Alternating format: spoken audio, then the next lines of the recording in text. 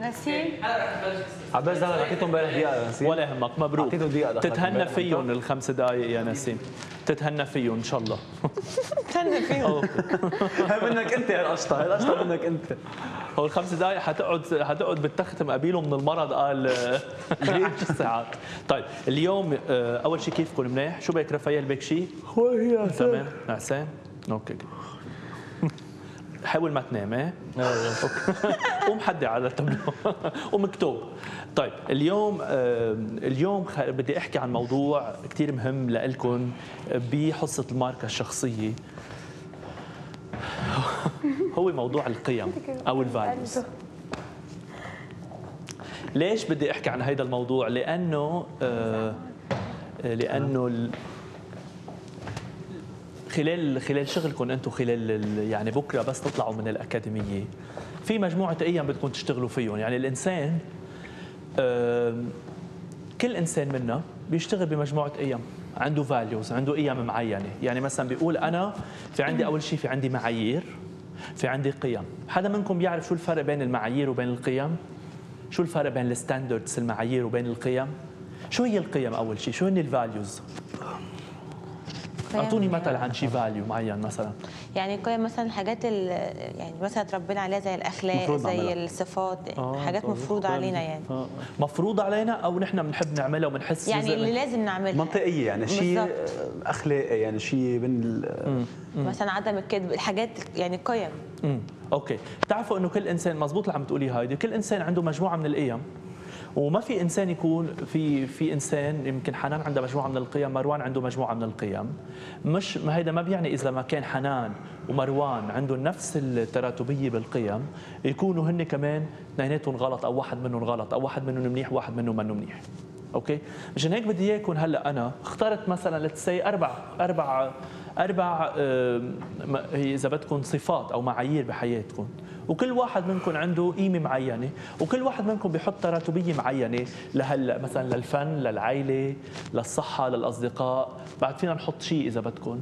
ممكن كمان من القيم اللي أنتم بتحبوا تشتغلوا فيه يعني مثلا في كل واحد منكم يعطيه تراتبية معينة وهلا رح بتشوفوا إنه كل واحد حيعطيه تراتبية مختلفة للقيمة. ليش؟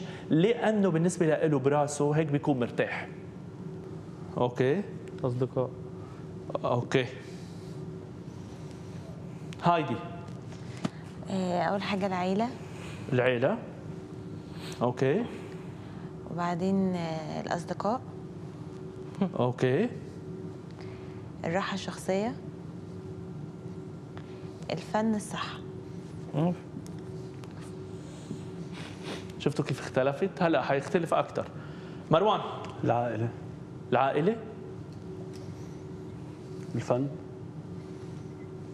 الصحة الراحة الشخصية. أصدقاء رافائيل.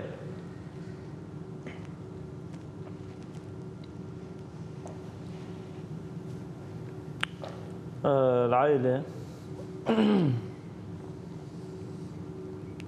آه الأصدقاء.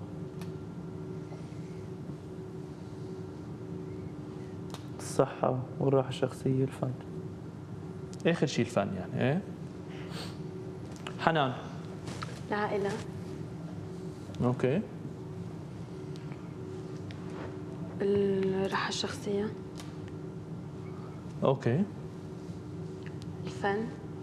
الصحة الأصدقاء. نسيم. العائلة. okay. آه، الصحة okay. أصدقاء الراحة النفسية الفن. okay. طيب خليني أسأل محمد. محمد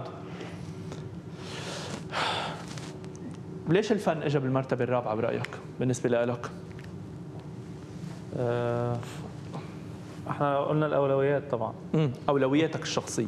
okay ما هو أنا بالنسبة لي لو لو الصحه اول حاجة والعيله والراحه النفسيه الثلاثه دول مش موجودين مفيش فن مش هقدر ادي في الفن يعني مش هقدر ان أنا ابقى مهتم بالفن أو أقدر ادي فيه لو دول مش عندي في الأول يعني okay so فنيا هيدا سؤالي اللي عم بتقوله مروان وبدي اياكم كثير تفكروا فيه انه هل القدوه الفنيه equal كمان قدوه اجتماعيه وانسانيه لا، لا، يعني لا. مثلا ام يعني في يكون في يكون شخص صوته كثير مهم صوته عظيم وإحساسه عظيم. وتلاقوه مثلا منغمس بمشاكل تانية يبين على إنه هو إنسان. منه إنسان؟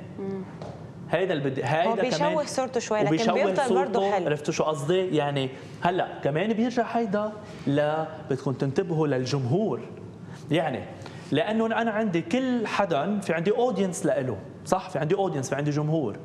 نحن بطبيعتنا والجمهور العربي جمهور بيعتمد كثير على المشاعر بهم بدنا نشوف مش بس القيم يلي نحن عنا إياها كمان قيم الجمهور يلي عم بتوجه له. لأنه فيني أنا اليوم أتوجه لجمهور عنده قيم مثلا العائلة رقم واحد ما في أجي أقول له أنا أجي شو بيقولوا انزع هيدي القيمة. الصورة اللي أنا بعرفها عن حالي يعني في شيء حنان أنت بتعرفيه عن حالك ما حدا بيعرفه.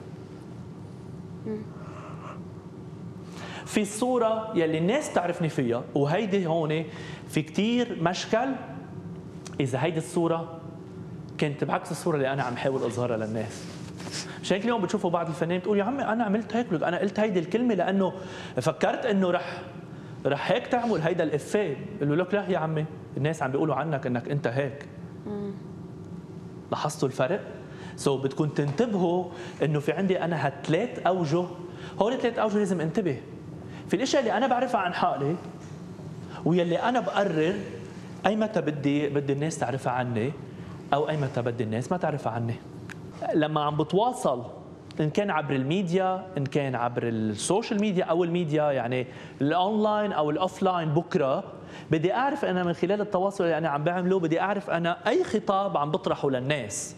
وبأي دور أنا عم عم عم طل هلأ رح أحكي عن أربع أدوار نحن بنعيشهم اجتماعيا وممكن نعيشهم كمان من خلال دورنا بكرة بالمجتمع. إيه مروان؟ أستاذ سوري. آه، هيك شخصية آه، أنت بتعدها قوية ولا ضعيفة؟ مثل شو؟ اللي بتلعب دور الضحية. أكيد يلي بيلعب دور الضحية هو شخص ضعيف لكن اجتماعيا مرات الناس بتتفاعل كثير مع دور الضحية. لا شو بدك بالناس هن شو بيعتبروا؟ يعني بيوصل هو لها- إنسان ضعيف. إيه بس بيوصل لهدفه. ليك أنا بشوف الأشياء دائما من بعيد. أنا ما بحب كلمة صح أو غلط ما بحب كلمة منيح أو عاطل. بحب شوف الأشياء حتى ال ال إذا إذا بدي الخصائص الاجتماعية من خلال شو تأثيرها على الناس. جريت إذا أنت هيك بتعتقد بس فكر فكر كم مرة بتفكر بحالك بك- بشيء بدك تقوله ترجع بتقول لأ هيدي الكلمة أنا ما في داعي أقول له إياها لمروان رح أقول له إياها بس بهيدي الطريقة هيدا اللي قصدته. ما معناتها أنك أنت تكذب برجع بقول لك ما ما ضد معناتها المجاملة أنا ضد يعني هي هيدي بس أنا شو ما كان بس أبعد عن الطريق بس الدبلوماسية منا مجاملة. ما هيدا اللي عم بقول لك اياه إنه احكي معه بس ده مش يعني في كثير عالم ما بتعرف شو معنى الدبلوماسية، في عالم بتقول لك أنا دبلوماسية وهي عم بتجامل، في عالم هي بتقول لك دبلوماسية بس هي عم تكسب مصلحة، في إيه. هي عم بقول لك يا عيني. عليك. صح. طب خيي طب أنا ليش بدي اكون هيك؟ بس ما فيك أنت بحياتك ما تكون ما فيك تكون ما فيك ما تكون كذاب يعني. نوعا ما. منه كذاب أكثر منه أنك أنت بمشي الأمور يا يعني. عيني عليك. ما بتحب إذا كنتوا اللي عم تقولوه اوثنتيك وجنوين وصادق رح يوصل للناس اللي بتحب هيدا النوع. بس كمان لازم تتاكدوا شغلة تانية إنه ما رح فيكم تخلوا كل الناس تحبكم. طبعا. يعني في ناس بتحب هال character في ناس بتحب هيدا ال character. المهم تعرفوا للناس يلي بتحبكم توصلوا لها بالطريقة الصحيحة. ميرسي يا أستاذ مريم thank you bye bye bye. bye. أستاذ وقت كريسماس يعني مش من إيه merci. Thank you بس نسيت أعطيك أستاذ. thank you من زمان أنا أيام. رافائيل؟ حبيب قلبي. شو بك زعلان؟ مانيش زعلان كنت نايم وعيتني ها هلا ما عم يحكي بدبلوماسيه هلا حقيقي. bye. عم بقول لك اللي ساعة ما عم تصدقني